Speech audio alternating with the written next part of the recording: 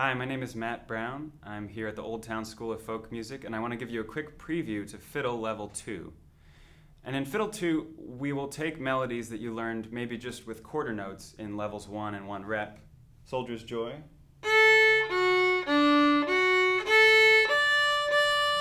And we'll begin the process of fleshing them out with more eighth notes.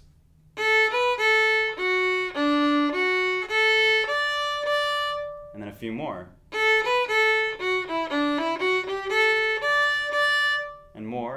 With more of the tunes that we know until it sounds maybe like this.